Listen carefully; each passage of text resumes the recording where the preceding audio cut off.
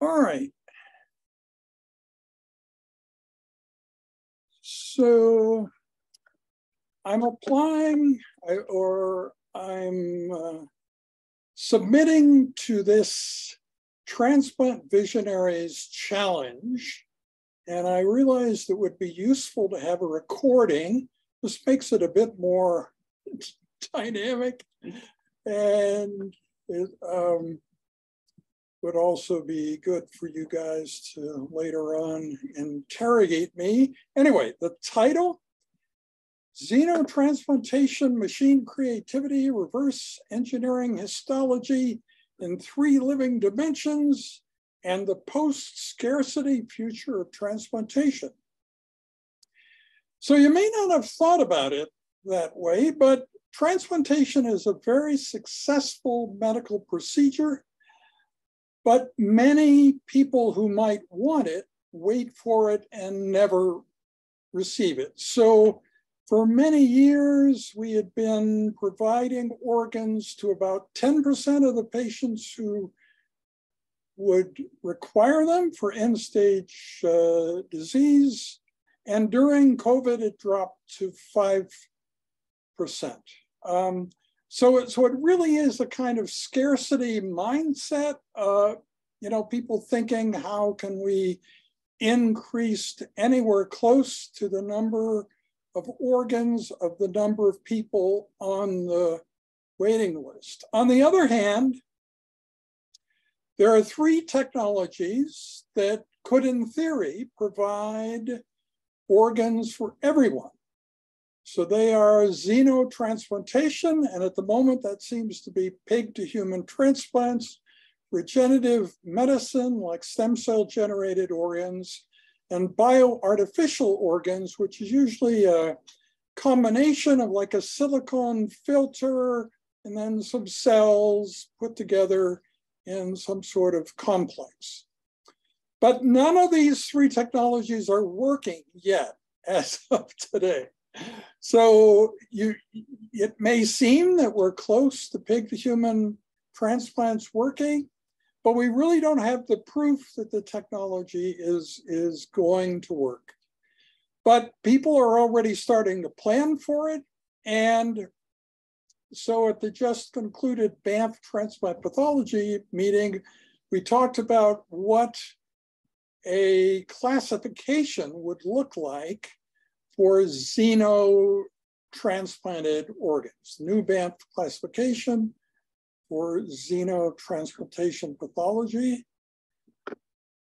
So these three technologies that could provide organs to everyone in theory are not working currently.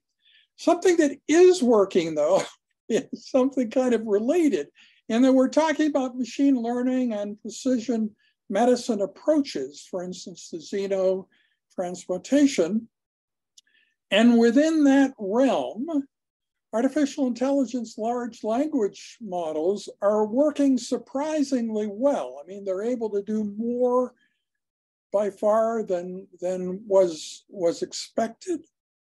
Um, and so what this has meant, there are these human beings who enjoy making predictions, get trained in doing predictions. They work for a company called Metaculus. And Metaculus has been tracking when artificial general intelligence is going to exist. And they had felt in the past it was around somewhere the high 2050s, 2057. And in May of this year, that predicted year when artificial general intelligence machines as smart as we are would, would exist plummeted, fell quickly from 2057 to 2039, and one presumes that it'll come down further. So suddenly AGI, artificial general intelligence, seems like something in all of our lifetimes, it's something we will experience something that may exist within 15 years. And how does this apply to pathology? Well, it's interesting that there aren't very many art articles about large language models in pathology, but there are some. Who knew? So there's something called Pathology BERT, which is a new transformer language model for the pathology domain. And I have references there about that. And so in theory then, you could imagine doing the, the opposite of one thing, one thinks about now. Um, so you, you, you would think of like scanning slides and, and then getting a digital um, image of, of uh, histopathology. But in theory, just as with these large language models, you can just put in a text prompt. In the future, you could put in a text prompt and get histology, get you know something that looks like a microscopic section of an organ, a transplanted kidney or something else. And these technologies would eventually probably allow um, for sufficient fidelity. So you first you'd have just 2D models, then you'd have 3D, like what happens when you have serial sections and you produce a 3D histologic model. And then it would have the fidelity that would allow you to use that in information to program a 3D bioprinter and actually print organs or parts parts of organs anyway from data, right? It, it's something that, that we really had never thought about before this this year is that you could input text and data and have um, living tissue coming out of the other end. How, how about that? That kind of brings all those things together. You could imagine that uh, you could start with data from a, a pig kidney, for instance, pig to human transplant, and then that could inform the 3D printer to, to create uh, tissue based on that model. So it kind of brings together these three uh, technologies, all of which could move us from a scarcity world to a post scarcity world where there might be enough organs for everyone. So that, that's exciting. So if you think about a competition with, with the name Transplant Visionaries Challenge, doesn't it sound like it's a big challenge? It wouldn't just be a little incremental change, but a big change, right? And so going from scarcity mindset to a post scarcity mindset would be that kind of big change. So you might say, well, how do we fit in? You're listening, where do we fit in? Well, you're taking a course, Technology the Future Medicine, Lab MP 590. I've been teaching that course for 11 years. A lot of my professional activities ultimately come from the course, and this is no, no exception to that. And as a part of this challenge, if we're one of the finalists, we have to create a short video. you can imagine I was quite enthusiastic about that because having created 1,500 other videos, I'm kind of confident about how we could do with our short video. I, I think it's a three to five minute video for the final face-to-face -face, uh, competition between the five finalists if, if, we end up in that. Yeah, and, and one of the best videos I've ever done is a one minute video. It, it was done for a one minute video challenge. And it's about how you can live a Star Trek life through mind uploading and genetic engineering. it's a bit jarring in terms of all the different changes it suggests you might have to make to do that because the radiation, I mean, when you look at Star Trek um, episodes, to actually do that, you have to deal with the ra- radiation risk, which is really huge. So somehow you either have to genetically alter the human or create huge shielding or something like that, or mind uploading. that's, that's really good. Then you have no biological body that you have to protect. Right? So, um, and a lot of the things, the, the kind of unusual things we've done in the course, we, we got really interested. You'll find that one minute video living in a Star Trek world um, talks about the possibility of multiple instances of self. And so we have many videos and, and teaching sessions around that. And um, two ye years ago, the students became interested in getting life-size cutouts of themselves. So most of them did that, made out of coroplast, which is the usual material for doing such things. Why isn't it cardboard? Because cardboard is for mass production. If you're doing cutouts of students, you're not going to make millions of them. You're just going to make a few. So that's what you use coroplast for. And you may know that throughout the pandemic, I've had in my office these 17 cutouts of, of the students. So the rest of you were really lonely, but my office was quite crowded with, with people. Uh, yeah, how, how, about that? So um, now you, it might seem like these things are completely impractical and not nothing would be happening with them, but exactly the opposite is, is true. There is the uh, finals for the ANA Avatar X Prize occurring a few days from now, November 4th and 5th at the Long Beach Convention Center. It's, I think the top prize is uh, $10 million. And I've, I, have been following this for, for a long time, and it's nice to see it coming to fruition. It makes all our videos about multiple instances of self um, rational and reasonable once that competition actually takes place. So um, I've um, had had an interest in sort of human cooperation for a long time.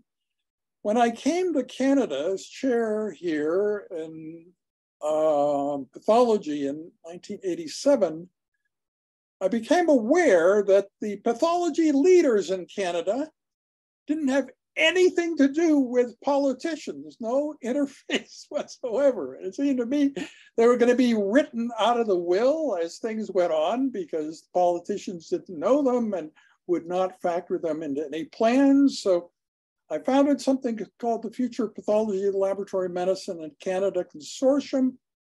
And actually, a lot of the later consensus things that I, that I did, like the Banff classification were sort of based on that. We met in Mississauga, which is not quite as romantic as Banff, but anyway, that's where we met all the sort of, you know, pathology leaders, decided what we wanted from the uh, politicians and so on.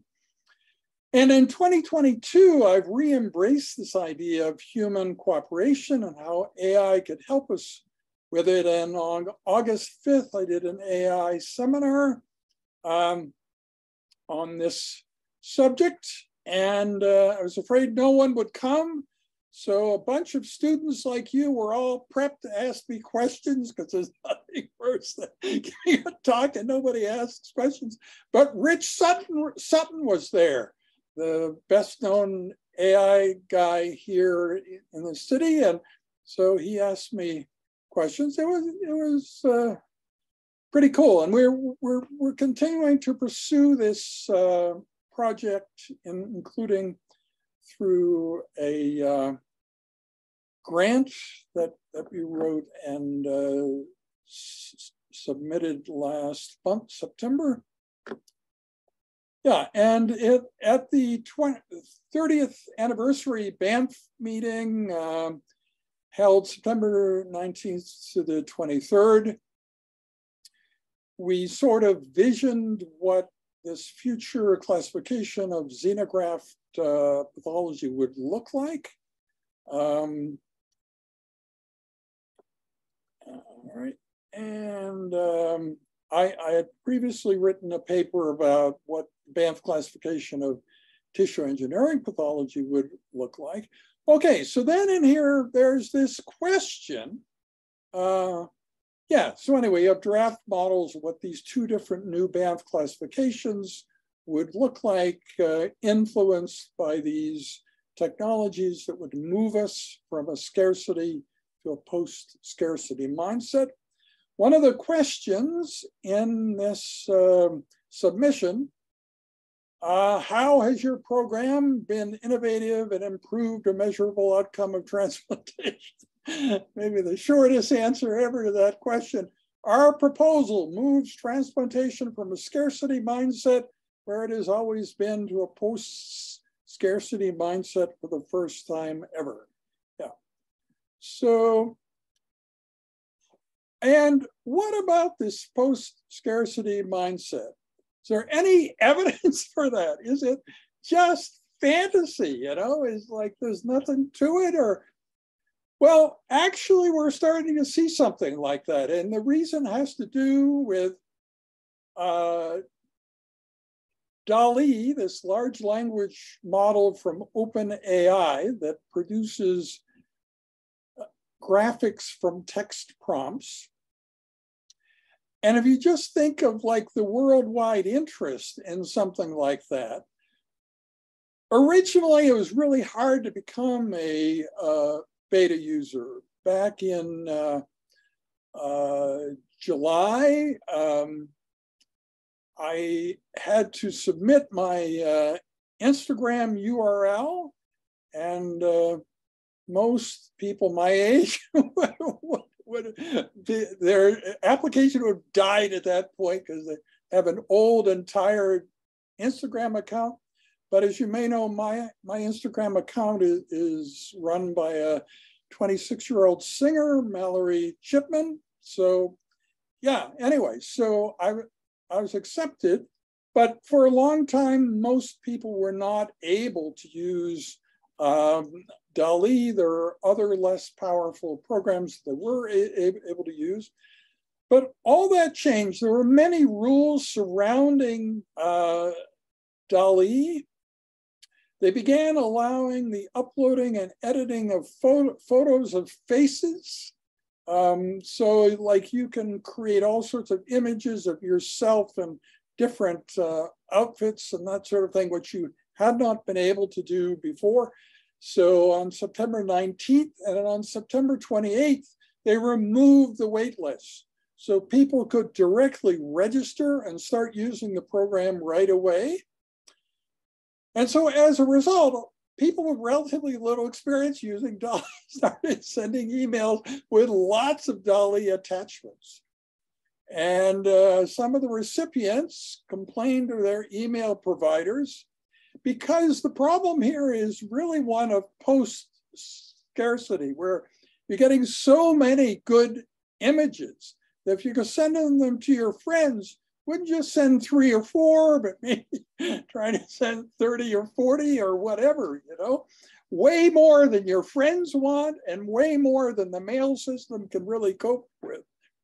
So the uh, email providers decided we have to do something. And so for five days, they put in filtering. So even a small DALL-E attachment couldn't be sent the way usual attachments were and would have to be sent using uh, Google Drive or, or, or, some such mechanism like you would use for something that's beyond the usual 25 megabyte attachment limit.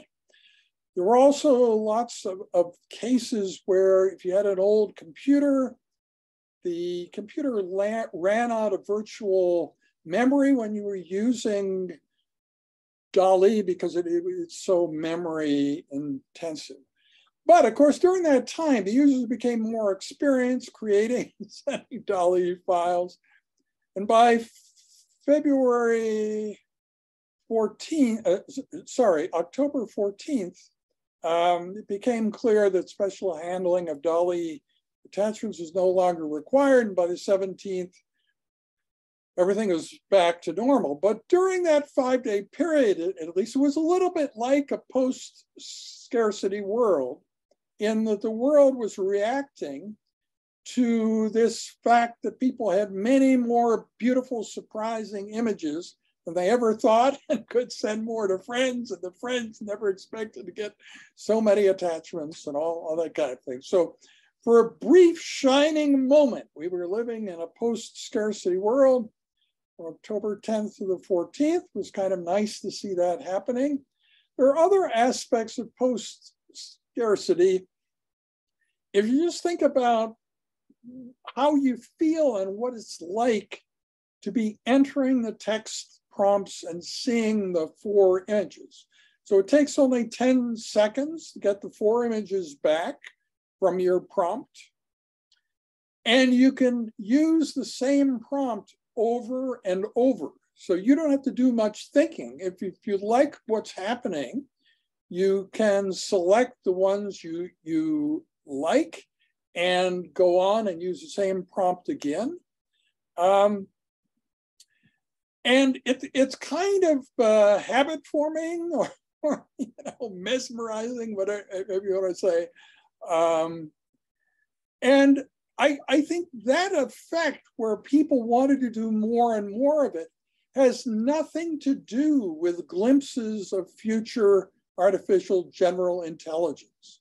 I mean, that's that's not what was so habit forming. It was that you you never thought you would be able to produce so many beautiful images and and uh, you know of, of, of uh, there were there were rules, but still, given those rules, it was amazing what you could uh, produce. Um, so the images are initially free, but even at high volume, they're cheap enough that most people could could afford to keep generating as many images as as they wish. Uh, and, and the images get better and better as your skill at, at developing the prompt craft increases. Each image is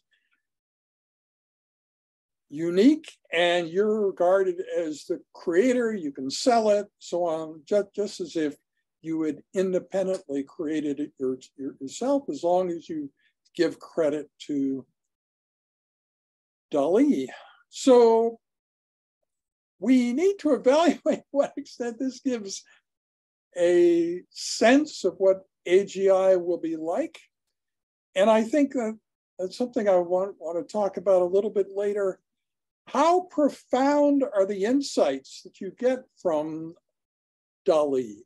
I think up until now, they're fun and interesting, but they're not as profound as what an independent intelligence smarter than you are could actually create. So they they they they aren't really there yet. And compared to science fiction, like the best science fiction of today, probably it gives you better ability to predict what the future is going to be like than these uh, uh, DALL-E images do. Okay, moving on. Yeah. So yeah, anyway, um, I'm, I'm now going to go on uh, with a PowerPoint. Any urgent questions at this point? Um,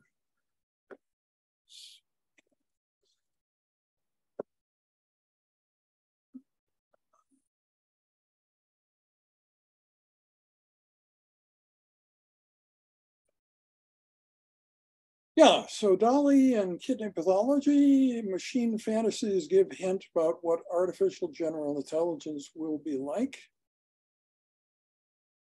So this is that uh, graph I was talking about earlier, earlier. And you see that this is May 2022. And you can see that the predictions had all been up here in the high 2050s came down to 2039, to some extent gone down below that. Yeah. So I guess maybe the other thing you could ask yourself is how mundane and sort of what everybody's talking about is what I'm telling you. You know, like, is there anything unique about my ideas and this is, or is what I'm telling you what everybody thinks? And I think what we can be quite proud of is how much of a minority Rich Sutton and I are. So um, there be these, these are the only articles in print that formally critique our AI work in this area. And they're very gentle to us. You know, the worse they call me is quixotic, which means sort of Don Quixote like, right? And I guess that must be true because when you come to my my office, first pictures you see is a Don Don Quixote picture. So I mean, it's yeah, that's not a bad word to use. But otherwise, what they're really saying is why are there only two people talking about positive outcomes of artificial general intelligence? Everybody else is talking about AGI doom and how it's going to kill us all, and nobody's doing anything about it.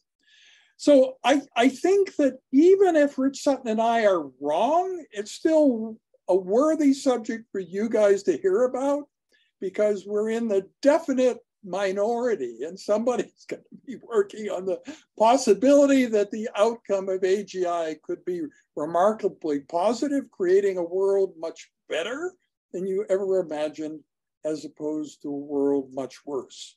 So I think that that's that's why it, is listening to, worth listening to.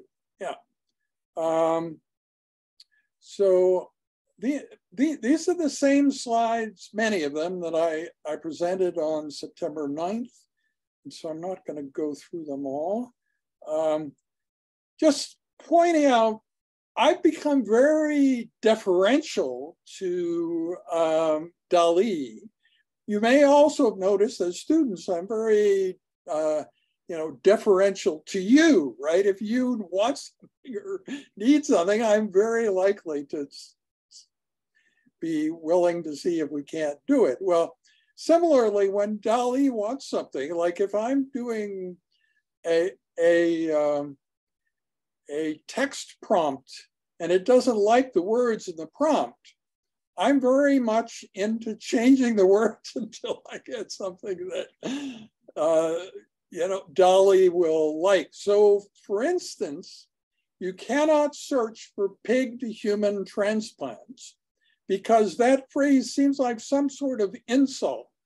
Whereas you can say porcine to human transplants, and, and DALL-E will like that just fine. So that's that's what I have begun saying. Yeah, and and like even in the first day that I had it, I was trying to get um, images for these challenge, these big challenges of, of the human race that AI could help with. So we already had images for the first 12.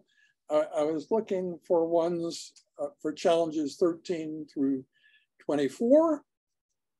And one of those was uh, genetic degeneration. And DALL-E told me if I searched for that again, it would kick me off, off the program. And actually, of course, DALL-E's right. If you look at that phrase, it, it's a phrase used by a lot of people who have a background of you know thinking that is uh, um, uh, somewhat biased. So anyway, I, I changed the genetic degeneration to genetic engineering, and DALL-E was happy, and I and I was happy. Yeah.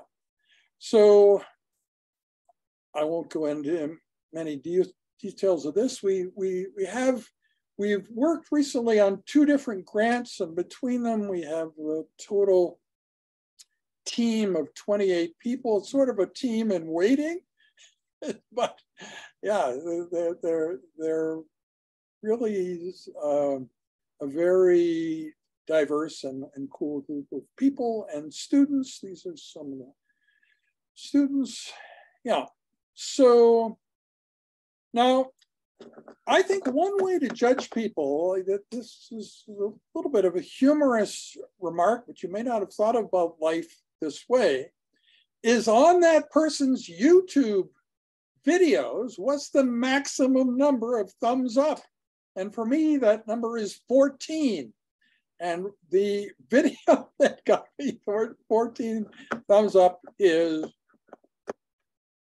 right here. So, so the one about uh, AGI ruin and list of lethalities and the possibility that rather than being terribly negative, that the outcome of AGI could be very positive. That had the 13 thumbs up. Rich Sutton, on the other hand, regularly his videos have, have uh, thumbs up in, in the high 30s. Yeah. So anyway, I, I don't know if you've ever thought of that. Okay, so yeah, one of the things you may be thinking about um, is how unfair to artists um, DALL-E is, where you could just take an existing artist, like steal all their stuff, right? And that actually isn't true. And I'm, I'm going to tell you a story about that. And it sort of begins with John Davis, who was the CEO of the National Kidney Foundation for a very long time, during which uh, he, he was my boss in something called NKF Cyber Nephrology. But think of his life versus mine. He's running an organization uh, that affects millions of people and has many thousands of, of employees. And uh, yeah, we, we were working quite closely together. And we, we, we were looking forward to a pivotal meeting at Microsoft. He was dreaming about it. I was dreaming about it. We were going to go there, make our pitch. Yeah. But we were independent enough that I didn't know what slides he was showing and he didn't know what slides I was showing. And so right before we, we went, we sort of shared that. And it was a low moment in that I, I, I didn't much like his slides and he really didn't like my slides. Um, yeah, so, so the other thing is we hadn't factored in lunch and the meeting with Microsoft was right a- after the lunch hour. So he and I arrived starving, having nothing to eat with in, incompatible slideshows. It was, it was very interesting. Well, how did that happen? It's all about the art created by this artist, Philippe Hebert. And there used to be a, a, a program on, on the web run by artists with no middleman. So it's direct compensation paid to artists without any large company in the way rebelart.com and I became aware of his art through this program. And uh, so I, I, fell in love with his art, and I'll show, show you what it's like. You already may have seen it on, on our uh, website, justmachines.com, and uh, bought all his stuff and you know commissioned him to make more. Yeah. Um, so we did all that, and then we phys- we physically met in Montreal. He li- lived in a Montreal suburb, so he rides his bike in, into where we were staying, and, and and we meet, and he, he has a message for me that's quite shocking, which is that since I'm the only one buying this kind of art, he has changed to doing a completely different kind of art that um, entities with really deep pockets seem to like. And he's never going back to the kind of art that I loved so much. So let me just show you that, that art. It's kind of rebellious art because when lines meet, they don't just meet, they go beyond the meeting point and create these little spicules everywhere. And so maybe subconsciously you're not really aware of why it is that you really don't like this art or do like this art. But if you're running a very large organization, it's important for people to conform. So you don't like people breaking the rules. And something in your subconscious tells you that this art breaks the rules because got all these spicules everywhere where they shouldn't be. And yeah, so I, I think it's something about my rebellious nature that made me like this art, and something about the fact that um, uh, that the CEO of the National Kidney Foundation was running a really large organization that made him hate the arts. So these are some of the pictures planned. Now, this one is, is important in terms of thinking about defects in what DALL-E does. So here clearly you can see the computer is offering a cup of coffee to the person using the computer. That's very clear to you. But as you'll see later on in this presentation, if you ask DALL-E to make a picture like this, to give you a variation on this. It cannot do it. It can only show you things where the coffee cup is being held by the human user of the, of the computer. Um, and so you, you can see that here. These are all the various variations in that. There, there's another image showing a third arm. And this is, you know, DALL-E's attempt. It, uh, it, it's also able, not able to produce a third arm. So a lot of sort of conceptual things having to do re with relationships between the different parts of an image and what comes first that DALL-E 2, the current version of DALL-E, cannot handle.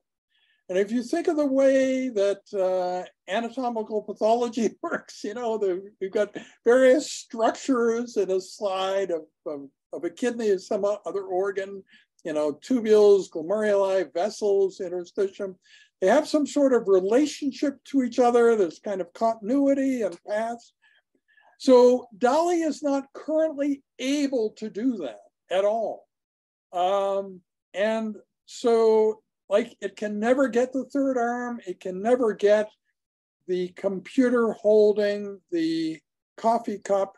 And that means that if we were stuck with the current version of DALL-E, we could never produce histologic images using that program.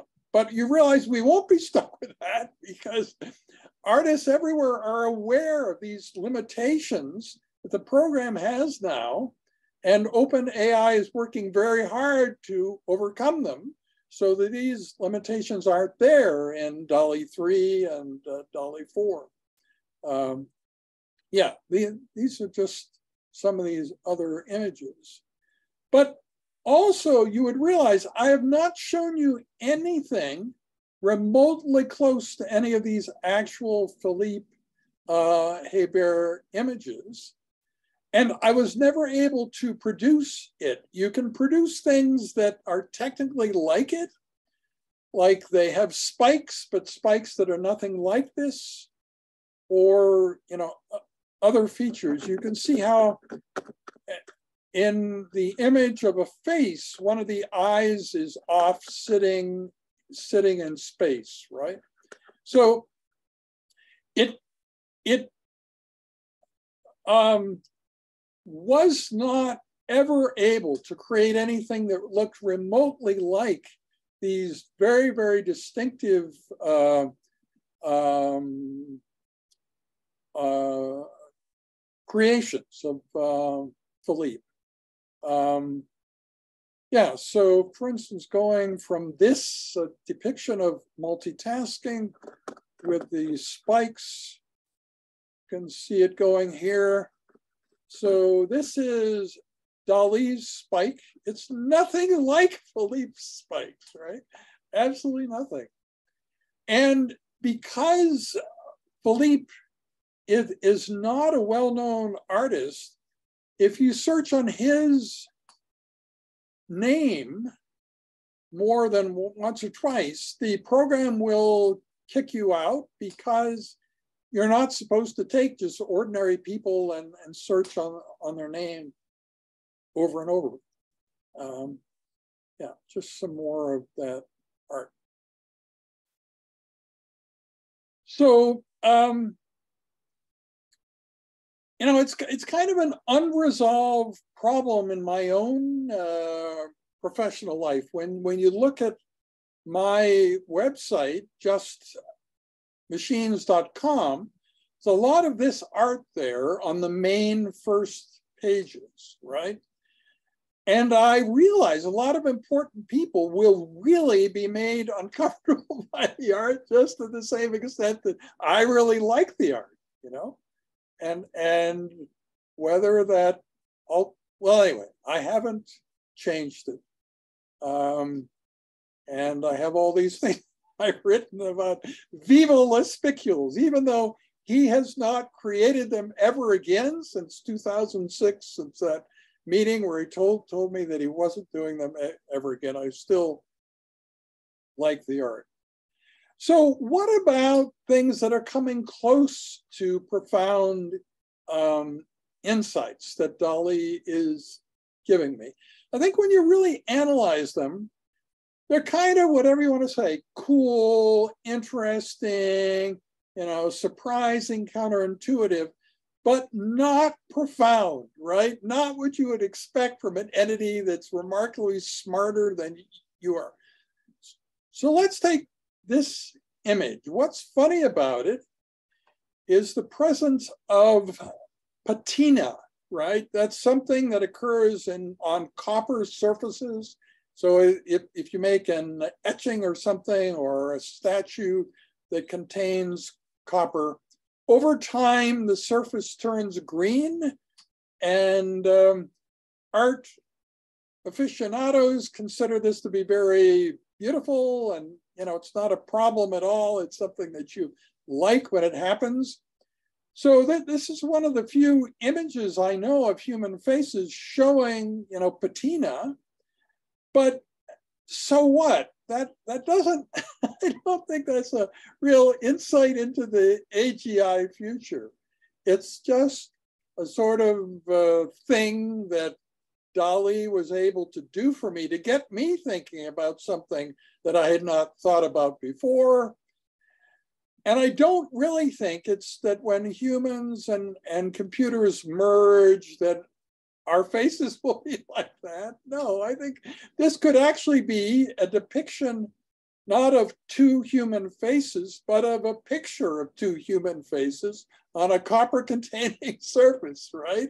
So it's, it's that some artist drew and and so and and and that the uh, oxidation of, of the copper turned it green. So maybe that's what it, what it's a picture of. Maybe DALL-E never never intended for it to be an actual picture of, real human faces.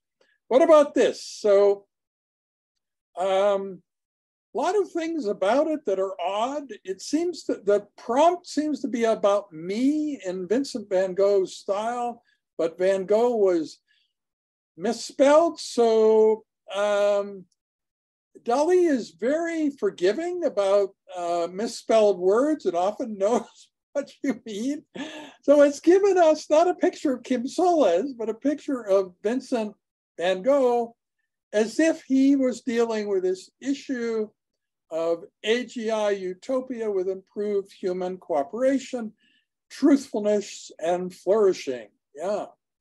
So you notice that there's this object, which is some sort of torch or I don't know, a way of holding something that, that, that emits light. Yeah, so that's part apparently of this uh, AGI utopia. Then you've got all these other objects over here you cannot identify. presumably are also clues to what AGI utopia are, but there are not really a lot of clues of what, what these other objects are. Yeah. So I, I would say once again that this is an interesting image, but it falls way short to the real insights that uh, AGI will actually provide when we have artificial general intelligence. This is maybe the most uh, insightful image thus far.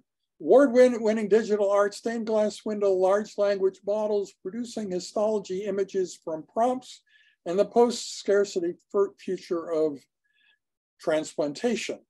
So you'll notice it has three things here, and I think this is a clock, this is a compass, this is a pressure gauge, I think this is a pressure valve some sort, right? So isn't that kind of cool that it did all that? Yeah, but what's the big insight? no really big insight except that, well, you, you want to think about direction and time and like pressure. I don't know, pressure release. Yeah. Um, but it it doesn't give you any clear message, right? Nothing you can act upon, nothing that, that you could really use to better predict what the, the post AGI future would be like. Um, but still, it's a, it's a really cool image. I'm, I'm glad to have it. Um, now, I, I don't want to spend much time on this because you, you guys don't know much about kidney pathology but at the moment is really bad at kidney pathology. The standard images of immunofluorescence, and this is its variation on immunofluorescence, but really there's almost nothing identifiable. It doesn't look the least bit like immunofluorescence. It, it, it's not very good at depicting tubules or glomeruli uh, yeah, there are a whole, whole bunch of things that we've all come to expect from kidney histology, which it cannot do at the moment. Um, and so let's think about radiology for a moment. Radiology is maybe a bit ahead of us. Why is that? Because standard radiographs are more likely to be in regular pictures. If DALL-E is just using like the public internet images, you would probably find lots of uh, X-ray images there.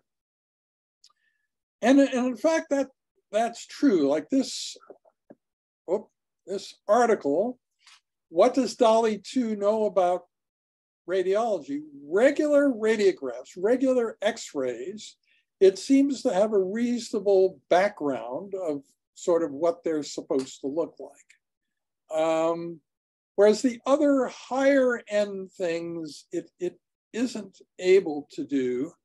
Um, so there, there, there's still many things in, in uh, diagnostic imaging that it's unable to do, but it, the, the starting point of just regular x-rays can do pretty well where it, it can't do uh, CT, MRI, ultrasound. But, you know, pathology, it, it doesn't really seem to have a clue what actual slides look like, what actual uh, histologic images look like.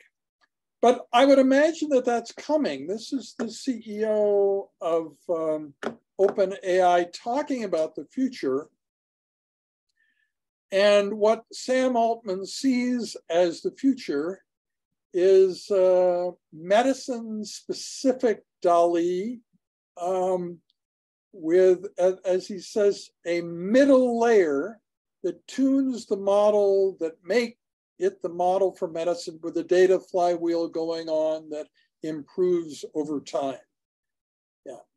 Um, so I I think uh, since there are already are large language models, at least a little bit in you know pathology, that eventually we will get to a point where later versions of uh, DALL-E will be able to do a much better job at going from text to um, actual uh, histology.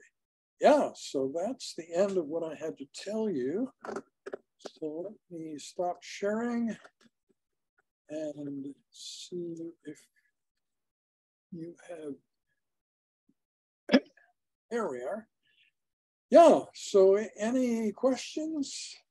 Um, you, you may all know this, but you know, Jacinta Specht is, is, is um, a very accomplished artist, so she probably had more feelings than the rest of you about, you know, the uh, how the rights of the art artists are being uh, recognized or not in this process. Anyway, any any, any comments, questions? Interrogation of Kim Solez begins now. Yeah.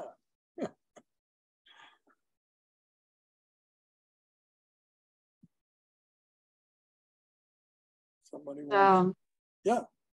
I'll break the ice. Okay, yeah. good. Yeah. Uh, yeah, I um, you mentioned that uh, if this um, uh, proposal application that you are working on is successful, you would have to produce a uh, video. A short video, correct? yes, yes. Yeah. yeah. I um. You're muted again. Oh, yeah. sorry. Yeah. Can you hear me now? Yes, yes. Okay. Yeah. I think uh, very recently there has been some like evolution on um, DALL-E like uh, tools. I think Meta uh, has worked on some text to video applications that looks very cool. I think I can send the link to the chat. Yeah.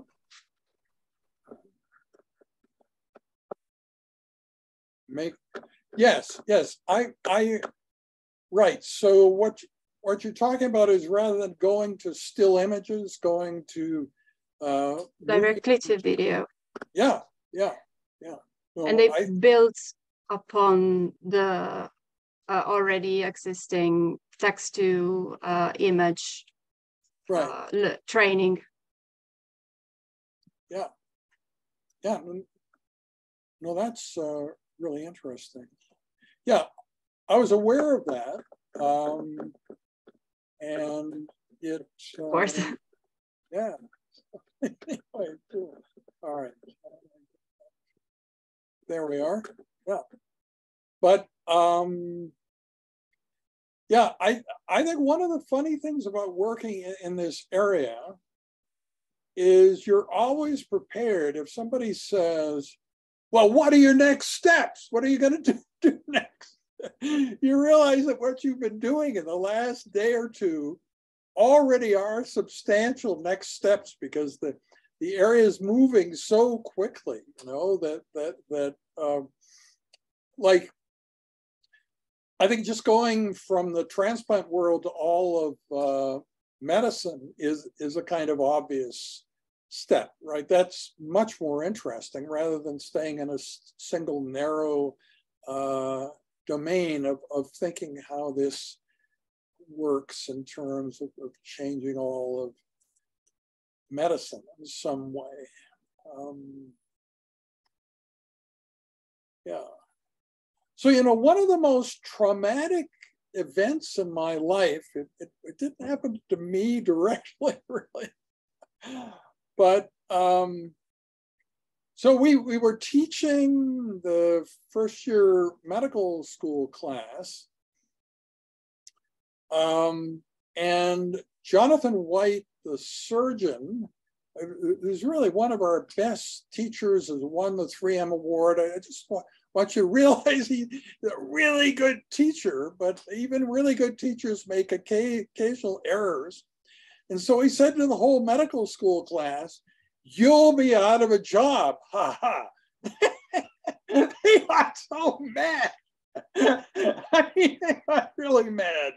This was maybe the wrong moment for them to have heard those words. And yeah, so we we really never recovered from from that moment. And I, I think he was he was wrong. I mean, I really see physicians as having interesting work lives for decades, centuries in the future, because there are lots of things, even if AI is in charge, a lot of, things AI is going to need that physicians know how to do, you know, and, and, and so human enhancement and so on. All right. Okay. Y yes. I unfortunately I have a sore throat. Yeah. But I was wondering, mentioning examples of programs like DALL-E have strict parameters that bind them. Yeah. So I guess, you know, be, being 76, you probably can't imagine what, what, what, what an aberration it would be to be 76 year, years of age. But it's kind of fun to be doing safe stuff. So one of the reasons that I enjoy using DALL-E, I think, is I know I'm unlikely to be creating harmful images because it, has been working very, very hard on making sure people cannot create harmful images, right? So that may be the opposite of what you're thinking. You're thinking all sorts of ways that this tech could be used to, you know, create things that other people would maybe not not like. Yeah. So that's the way I look at it. And like the thing I told you about that five day period, you would realize what I was experiencing was not anything open AI was doing, right? It was the way mail systems were reacting. It was not something that open AI did. It's just that they, their product was so successful that the mail systems felt that they had to reduce the number of DALL-E attachments being sent. So my behavior was different. A young person who was really irritated about this would have gone to their the provider of their mail services and saying, why are you doing this? I'm sending a 1.9 meg attachment. You're giving me all this grief about it. Why don't you just let me send it, right?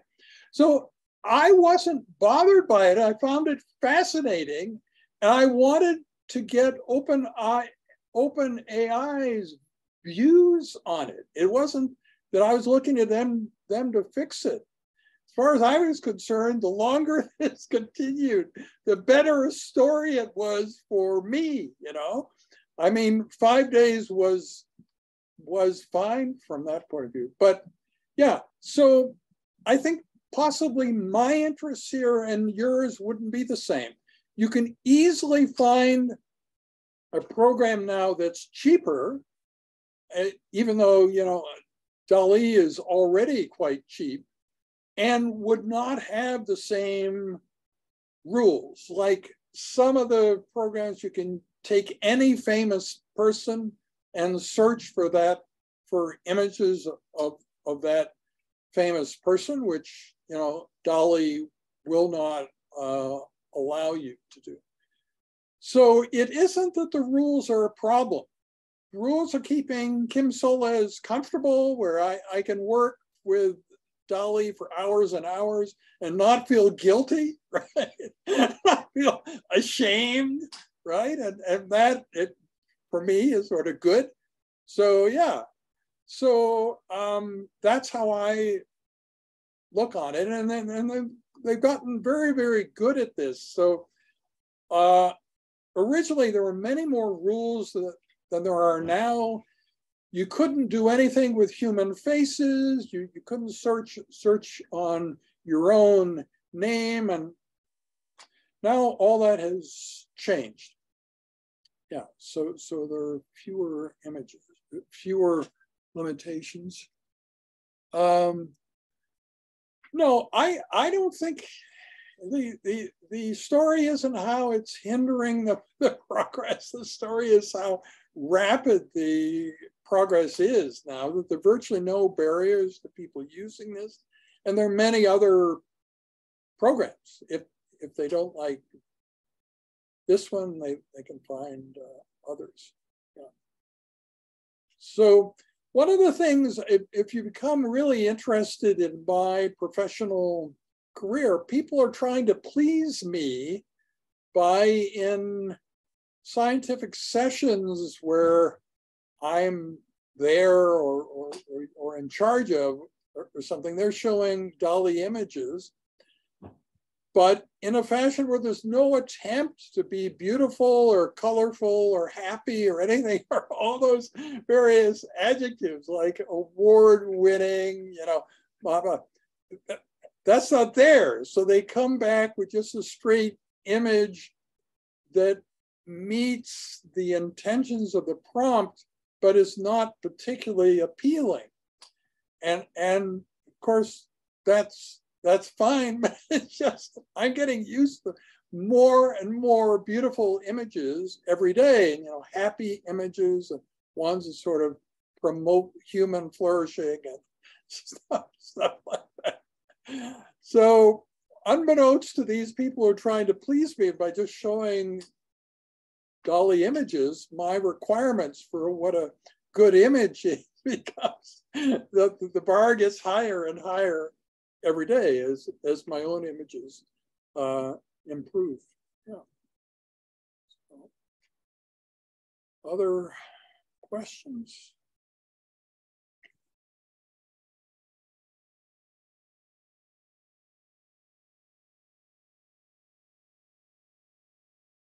So we're we're writing an article for the New England Journal of Medicine, the best uh, journal in medicine. Does this seem like a subject interesting enough for the best journal, or do you think it's sort of blah?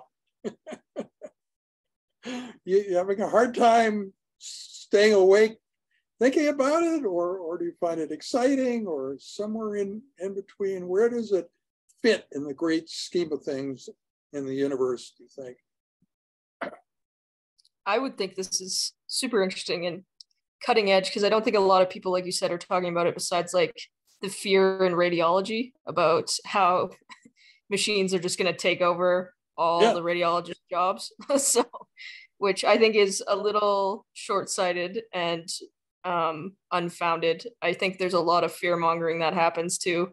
But I think it's also a far ways off. And I think having like an article early about this, even just like for pathology and stuff like that, is important. So, yeah.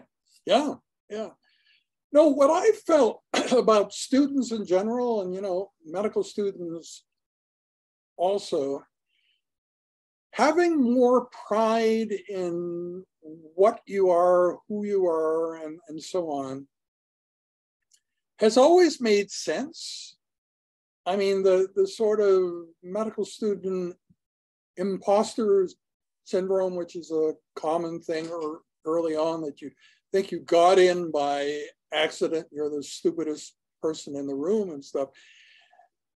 The opposite side of it, of how interesting a person you are, that's why you got in, got into medical school. And so you should keep enhancing that, and you can. You know, I mean, I I haven't given up anything, and and I I've had great fun in my medical career, you know, all 50 some years of it. So um, it, it's, it's important not to think of yourself as mundane and ordinary because when you start to think of yourself as mundane and ordinary, then the future is really scary because if you are indeed mundane and ordinary, then probably machines can do everything you do better than you you can and right? But that's uh, that's probably not true of you or anybody that you know.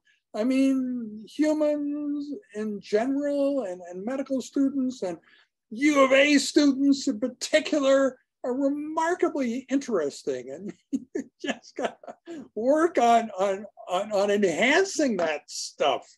It makes you such a singular individual, you know, and you think about what does the singularity mean? Dr. Solez thinks it's about AGI, but I think it's about me. It's about me. I'm it, you know. Yeah, no, that's that's good too. Yeah, that could be another meaning for it, right? So yeah. So um and I think it, it it's maybe a good moment to to to kind of reflect why were the medical students so mad uh, about um, John, Jonathan White saying you'll you'll be out of a job. Well, it, it's this fear that maybe what I'm doing is ordinary, right? That that you know I, I expect medicine to be more special, and I expected me myself to be more special, and neither medicine is special nor me, and now I'm in deep trouble because AI is going to take over. And yeah. So, I mean, that that's not correct. That isn't what's going to happen. There are going to be a whole lot of new challenges in human society. And probably people just like the three of you are exactly the right people to help solve them, you know, and, and it's going to be very satisfying to do so and so on. So, yeah. I just think that's the future you you have to look forward to. Yeah. I think another reason why this article is important to write too is that I feel like the people who are most scared about the AI takeover are like the ones who don't understand it the most or the least educated about why it might be helpful and not uh, just like take over all our jobs because that's that's the mm. people who I talk to who are like, oh, don't go into radiology or don't do this because AI is going to take over. I'm like, if you stepped into a lab and understood any AI, you would understand that that's not going to happen. but okay. Yeah. Yeah. No, I think it it's a wonderful syn, symbiosis. If you think about the pleasure you get from meeting somebody new, there are going to be a lot of somebody news who are not human, right? That you're going to meet in the in the future, and and it's going to be great, you know, not only for you but for them, right? They're looking for what you have. They don't know enough about nature and this biology thing, and they want to know from you, and you want to know about them. Yeah. So I mean, the world is is is really opening up in in an amazing way, you know. And, and so there's a thing I, I, I talk about, there is no limit to how big you can think. So you may be internally thinking, oh, that's wrong. Maybe for you there are, but even so, within those limits, it's fun to think, well, you know, how good could the world get? How how important a role could I play in that? You know, yeah, that, that's that's all very very exciting stuff. So, so I, uh, the, the class period goes to 320, so we have 10 more minutes. I realize you haven't had very many class periods with me, but anyway, thanks for putting up with, with this very unusual term of the course. And no, I'm I'm very proud. I mean, just think of it simply. I planned to cancel the course for this term because I was doing other things. And the students, including students right here today, convinced me to, to keep keep the course going anyway. And that's what we did. And this is what we what we ended up with, which isn't bad, right? So you can think of huge courses like last year, there were times when we had 25 medical students uh, taking the course at a time, you know, 50 for the year. but they would sort of generally assign one medical student to actually show up. So that actually made it way better because what you have wanted, like would, would the undergraduates have wanted to be diluted by 25 medical students? No.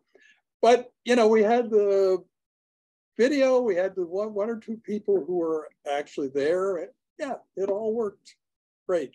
So I I think that, that there's something quaint and nice of course with so few students where where the intellectual ferment still works and yeah so anyway i think hopefully that's that's what you're getting and if you think about the other simple thing the most out there ideas i talk about and that you're learning about from me this term will obviously not be on the midterm, right? So you're not being tested on them.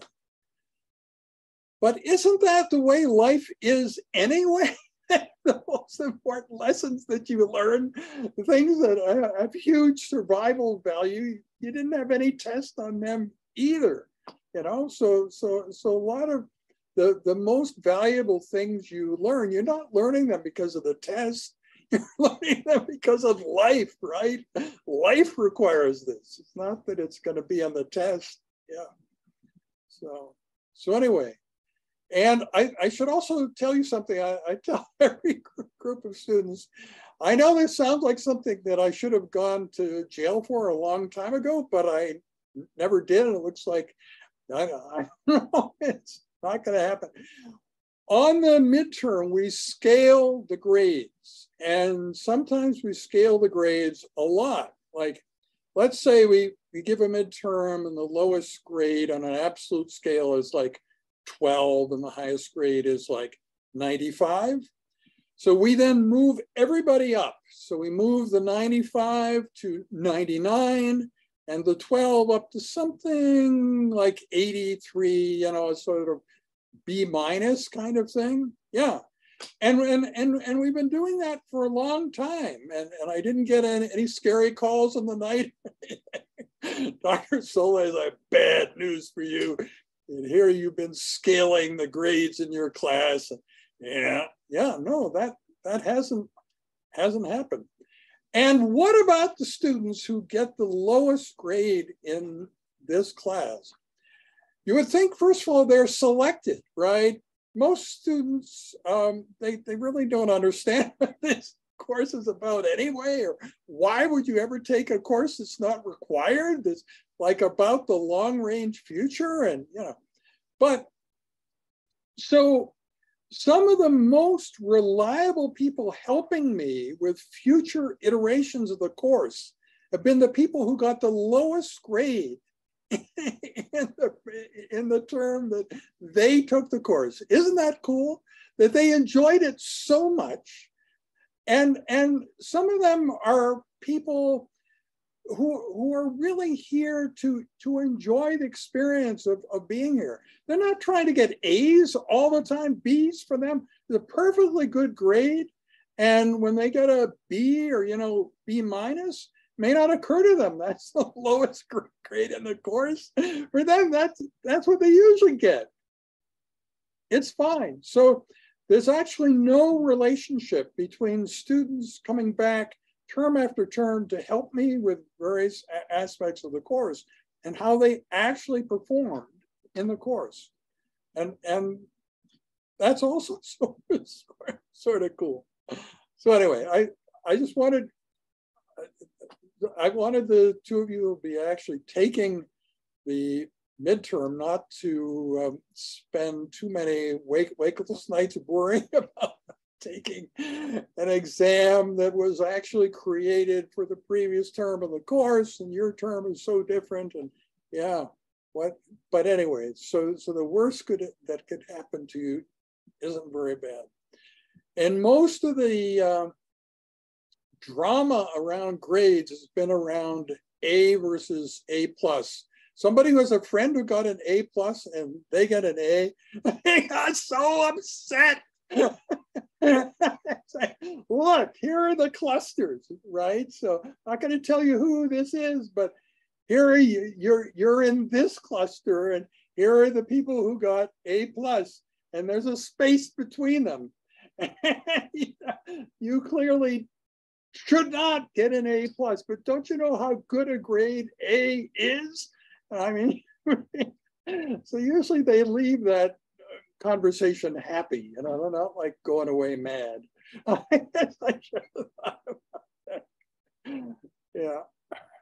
We have had occasional students who just coast, but they they pass. If, if you don't really do anything, you're bound to do something, not just because of the people teaching the course, but the other students are so interesting you can't just sit there like a lump on a log and do nothing when other students are so charismatic and outgoing and, and, and, and you know, invigorated by, by, by the course. So you're bound to accidentally learn something, even if your intention was, was to do nothing. So like the lowest grade we ever had is like C plus, and and and those are students who probably you know intended to just kind of coast, and and that happens less, less and less. Yeah. So anyway, uh, yeah. Any any other questions? We have three minutes before the end of the class period. Yeah. Anything for the last three minutes. Anyway, thanks for putting up with this. I mean, what, what you're really doing is allowing me to add students to a lot of what otherwise would be like solitary Kim Solez experiences, right? So anyway, I I appreciate that. So okay, yeah, well, great, yeah. So I, I, have a first year medical student coming to see me on Thursday. And uh, so there's a medical student's desk in my office. And I'm going to show him the desk, uh, tell him the stories of all, all the other medical students who have been at that desk. We, we, we did that throughout the the pandemic, you know, where shadowing was outlawed. So we decided that we didn't know what it was the student at that desk was doing, but it's not shadowing, whatever. no shadows. If you look, there's no shadows being created. So no shadowing. Yeah. So so anyway, that also you would think I would have gone to jail for that and I didn't, yeah. So I, I've escaped a lot of, uh, yeah, enforcement. Yeah. Okay. Well, thank you very much for joining today. And do I think there'll be other sessions before the end of the course? I think so, because stuff happens that it makes sense to share, share, share with you. Um, so anyway, yeah, thank you for joining and I'll be in touch. Okay, great. Bye bye. so much. Thank you.